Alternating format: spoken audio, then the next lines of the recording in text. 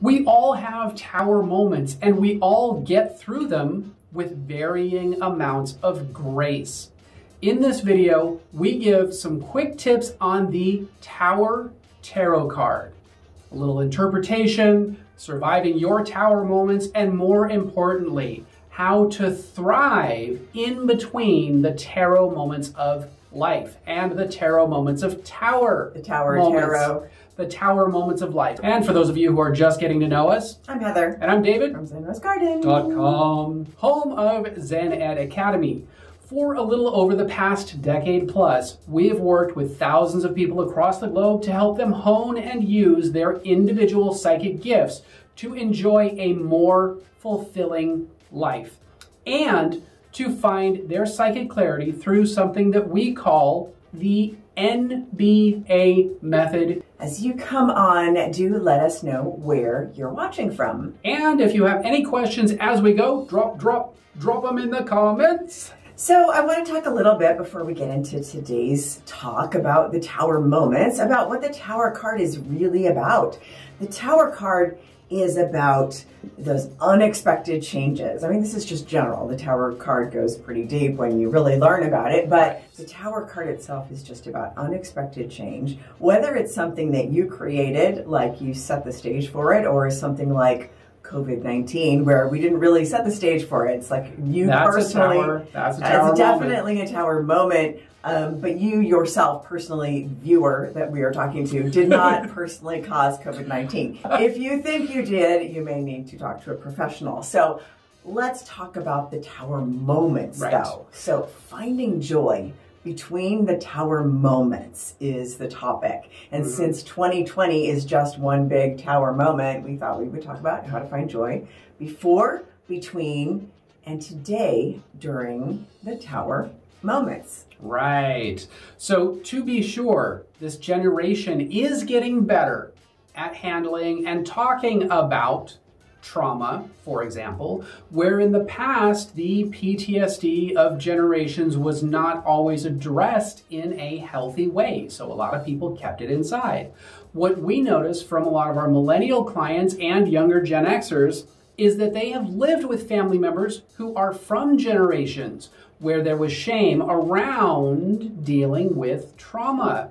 And they're like, nope, not gonna look at mine. And then these youngins are like, you know what? I'm not gonna end up like that, so I am gonna look at mine. My parents were that generation, and just seeing the kind of pain that they held on to and didn't Right. process, whereas my generation is working on processing the pain and getting rid of the trauma. They didn't necessarily have the tools and the support to look at their stuff that the younger generation now has. But what do you do in the middle of an ongoing trauma like a pandemic or a war? This is a war on an invisible pandemic.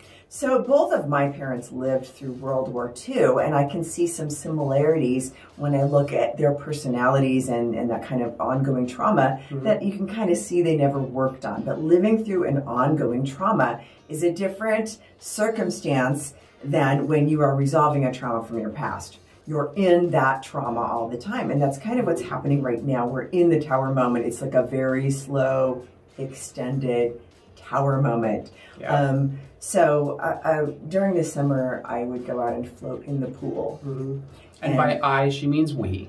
And during the summer, we would make it a point at the end of the workday to go out and float in the pool, pour a glass of wine, and intentionally connect to the peace of the moment. Intentionally connect to that moment of pleasure in the middle of stress. We can't see our kids. We can't go out to happy hour. We can't do those enjoyable things that we would do at the end of the workday Mhm. in pre-COVID life. So we've intentionally etching out a space in the day for us to achieve that moment. Yes, to create that moment, to make space for that moment, regardless of what is going on around you.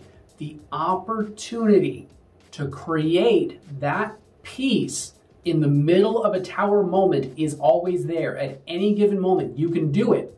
Setting something aside purposely and making that intention purposeful is the key to making it through those deep, intense times.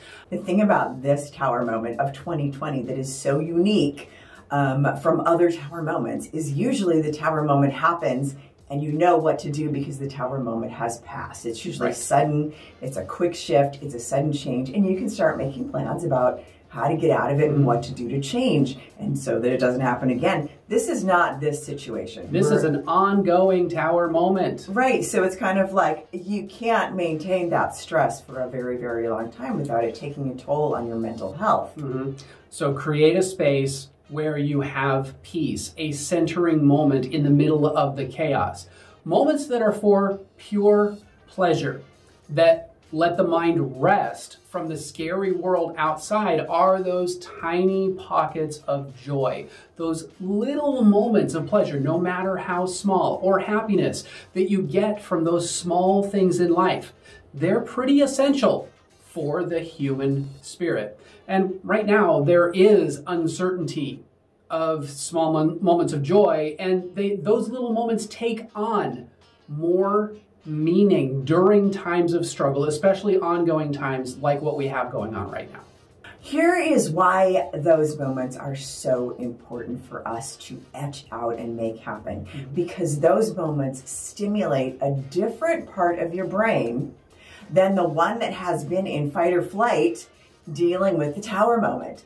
And that stops the drip of toxic fear chemicals, which are real. It's not like a made up thing mm-hmm. that, that come from that fight or flight where you're watching what's happening and you're going to the grocery store with a hazmat suit on. So actually, when you can create those moments and stop that drip, it actually lessens their effect on your health when you have to go deal with something a little bit stressful. Absolutely. And many of the things that we normally get joy from have been out of bounds. They've been off limits, right?